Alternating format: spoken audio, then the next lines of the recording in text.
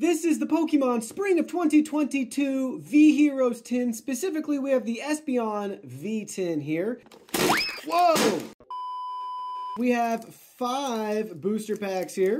Two Brilliant Stars, one Fusion Strike, one Evolving Sky, and one Chilling Reign. We also have our promo card, our Espeon V, and one online code card.